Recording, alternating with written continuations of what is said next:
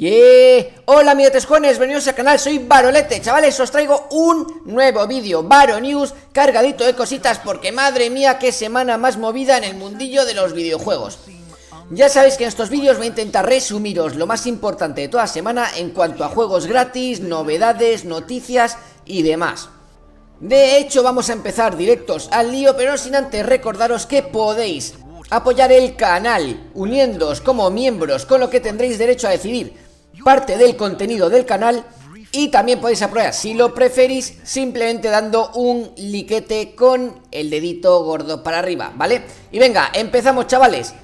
Esta semana se ha lanzado la beta abierta de Conqueror's Blade Juegazo donde los haya. Yo ya he publicado un vídeo de primeros minutos de este juego Y madre mía, me da la sensación de que este juego va a pegar bastante duro me imagino que muchos ya lo conoceréis, el que no, pues oye, les recomiendo ver mi vídeo porque creo que explico los primeros pasos de forma bastante detallada. Y entre otras cosas también os cuento que el juego es gratis, free to play, ya sabéis, que está en español y que es un multijugador que combina elementos como las típicas batallas de For Honor o de Mountain Blade con elementos muy MMORPG como puede ser el manejo y algún que otro elemento de estrategia como podría ser alguna característica de los Total War. Aunque en el vídeo que he publicado de primeros pasos tenéis ya los enlaces para descargarlo, pues si vais a verlo, si alguno quiere directamente descargarlo, que sepáis que en todos mis vídeos, incluido este, pongo los enlaces directos de descarga de los juegos de los que hablo para que podáis descargarlos y así no tengáis que perder tiempo buscándolos por ahí, ¿vale? Y venga, más cositas, chavales. Destiny 2 ya se ha anunciado que va a pasar a ser free to play. Ha sido una semana muy movida, como os comentaba, con el anuncio de Stadia, de la cual ya vamos a hablar, y otras cositas, y una de ellas ha sido que Destiny 2 va a ser free to play con el nombre de New Light.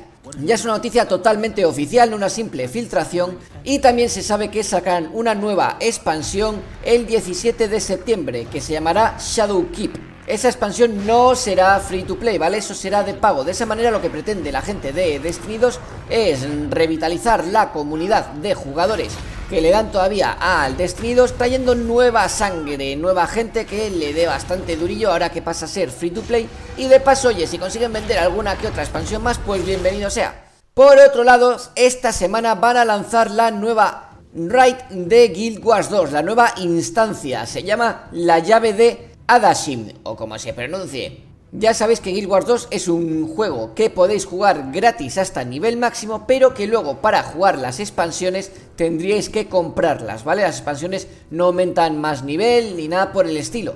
Simplemente añaden más historia, más contenido al juego. En este caso yo recomendaría jugarlo gratis antes de comprar las expansiones.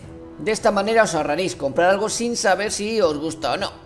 Por otro lado, otro lanzamiento bastante reciente es el del Warhammer Chaos Bane, un juego tipo acción RPG ambientado en los mundillos de Warhammer que la gente que lo está jugando dice que está bastante chulo. Yo todavía no he tenido la oportunidad, pero básicamente es algo tipo Diablo o Path of Exile con el lore básico de Warhammer. El juego no es free to play, este es de pago y por el momento incluye cuatro clases, pero se supone que más adelante seguirán añadiendo más clases y más expansiones.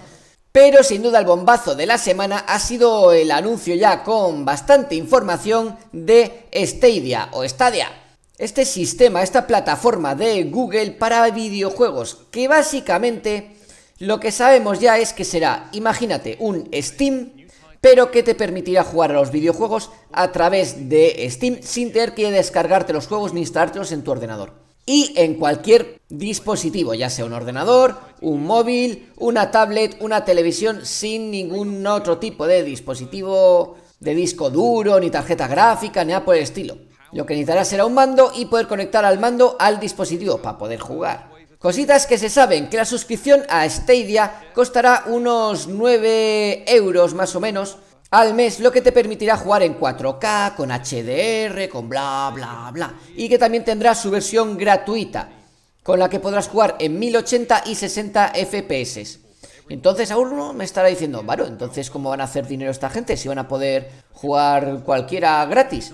Es que no vas a poder jugar cualquiera gratis a cualquier juego. Tú vas a poder jugar a los juegos que compres. Como os digo, es una especie de Steam. Tú vas a poder jugar a los juegos que compres pero la gran ventaja es que podrás jugar al máximo sin tener que pagar nada siempre y cuando te conformes con jugar a 1080 y 60 FPS. Si luego ya lo que quieres hacer es jugar a 4K y demás, entonces ya tendrías que pagar 9 euros, pero tendrías que ir comprándote los juegos. Solo que si tienes la suscripción de 9 euros al mes, tendrás, se supone que, descuentos y rebajas a la hora de comprarte los títulos, ¿vale? También se supone que habrá algún que otro juego gratis para la gente que tenga la versión Pro, la de 4K, pero todavía no se sabe cuáles serán. Y también se sabe que si queremos jugar desde el momento del lanzamiento de Stadia, habrá que comprar un Thunder Pack que cuesta más de 100 euros, que incluye también, me parece, un mando específico con una edición eh, limitada y demás.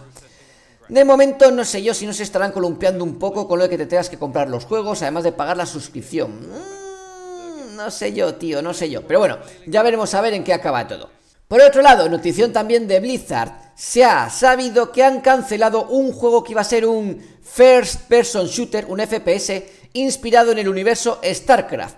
¿Por qué? Para centrarse en poder desarrollar a Diablo 4 y un nuevo Overwatch que todavía no sé si será llamado Overwatch 2 o Overwatch su fucking mother o lo que sea. Lo que sí se supone es que este nuevo Overwatch tendrá más características PvE que el actual Overwatch, cosa que es bastante fácil también, eso es cierto.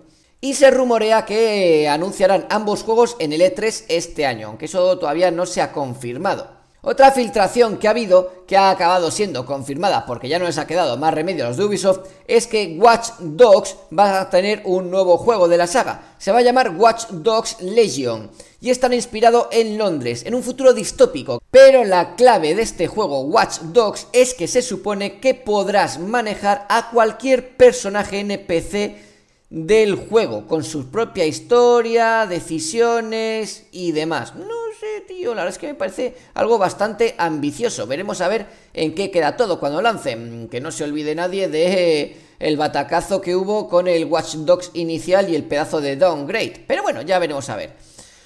Por otro lado, también se ha anunciado el Baldur's Gate 3 y se sabe que formará parte de los títulos que se podrán jugar a través de Stadia de Google. En principio se dijo que Baldur's Gate 3 sería lanzado a finales de este año 2019, pero ya se ha dicho que no, que de momento que habrá que esperar un poquito más porque no. Contad de momento con un 2020 y también se sabe que formará parte de la PC Gaming Show, es decir, la, el huequecito que hay destinado a anuncios de PC, ¿vale? Por otro lado, y como nota curiosa, saliéndonos un poquito de meros anuncios de juegos, está la película de Uncharted, ¿vale? La película inspirada en los videojuegos de Naughty Dog, que será protagonizada por Tom Holland, ¿vale? Que va a ser de Nathan Drake. Tom Holland es el actor que da vida a Spider-Man en las últimas películas de Marvel. Pues la fecha de estreno no es ni más ni menos que para finales de 2020, así que todavía habrá que esperar, pero bueno. La verdad es que me resulta difícil imaginarme a Tom Holland como Nathan Drake. Pero bueno, oye, ya veremos, la verdad es que el actor no es malo. Y para terminar, os doy las noticias un poquito tristonas de la semana. Por un lado, Bless Online se sabe que va a cerrar en Steam el 9 de septiembre. Es un juego que va cerrando constantemente. Ha cerrado también en Japón, bueno, en fin. El futuro de Bless Online no es nada halagüeño. Y por otro lado tenemos el del Warlords Awakening, un juego que francamente no ha llevado a despuntar por ningún lado. Yo lo probé, me pareció que tenía, bueno, básicamente lo mismo que tenía el anterior Eloa y el anterior Inspirit y fue como decir, eh, me estás diciendo que es lo mismo que dos juegos que han tenido que cerrar y esperas triunfar. Eh, lo tienes jodido, compañero. La única diferencia principal era que desde el principio tenías la opción de que tu personaje tuviera una especie como de enrage, ¿vale? Que se chinara entero y fuera a saco. Y francamente no me parece un argumento suficientemente sólido como para decir que el juego fuera a triunfar donde las anteriores versiones de ese juego habían fracasado. Y efectivamente parece que el 28 de junio va a cerrar Warlords Awakening. Una pena, tío. Tenía yo ganas de poder jugar un juego como estos, pero... Oye, es lo que hay. En fin, espero que os haya gustado el vídeo, chavales. Y si es así, recordad que con vuestros liquetes apoyáis mi trabajo. El que quiera apoyarlo económicamente puede hacerlo uniéndose al canal. Y que compartir el vídeo y hablar a vuestros amiguetes del canal también ayuda a que esto vaya adelante. Así que nada, nos vemos. Hasta luego, amiguetes.